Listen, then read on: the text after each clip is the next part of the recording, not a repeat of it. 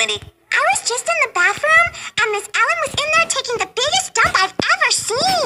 No, she wasn't. Yes, she was. That's impossible. Well, she did, and she has horrible, horrible gas, too. She says she can't control it. Nuh-uh. It smells like a dead calf rotting in the hot sun.